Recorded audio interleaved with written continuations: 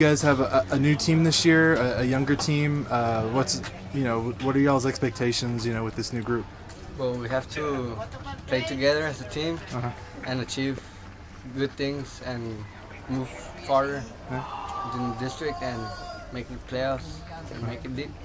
Yeah, and I know Hidalgo has a has a tradition uh, of you know success in the playoffs. They have a state championship. Do you feel like you guys can handle those you know expectations? Because I can imagine there's pressure that goes along with that. Yeah, it's a lot of pressure, but within whichever within every game, we'll be getting confident and we'll eventually get far. Yeah, and as one of the guys with experience on the team, uh, do you feel like you have to kind of take a leadership role with maybe some of the younger sophomores, freshmen that you guys have you know on the squad?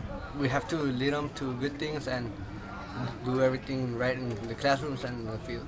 And do you feel like uh, how do you feel like you guys are going as far as getting a lineup and playing together? Because I know that's an important part you know of what you guys are trying to do right now. Yeah, we're trying to uh, play all together and be as a team. So And what was something uh, heading into the season that you knew that individually you'd have to improve on for yourself?